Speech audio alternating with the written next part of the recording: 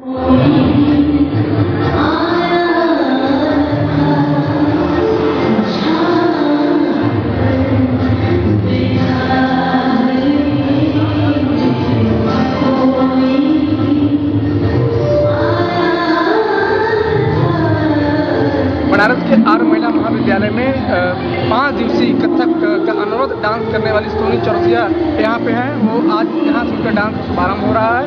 ये 14 नवंबर से 19 नवंबर तक 124 घंटे ये लगातार कथक डांस करती रहेंगी। इनका ये है कि ये गिनीज वर्ल्ड रिकॉर्ड में दर्ज कराना है। उनके गुरु राजेश डोगरा जी हमारे साथ है। हम राजेश डोगरा जी पूछना चाहेंगे कैसे ये पॉसिबल हो पाया है। इन्होंने पहले लिम्का बुक वर्ल्ड रिकॉर्ड बनाया था, जो कि 24 घंटा लगातार कथक, नृत्य रोलर स्केट पे किया था। अब ये गिनीज बुक का रिकॉर्ड बनाने जा रही है, लगातार 124 घंटा नृत्य करके। और मैंने इनको बड़ा कड़ी मेहनत इसकी करवाई है।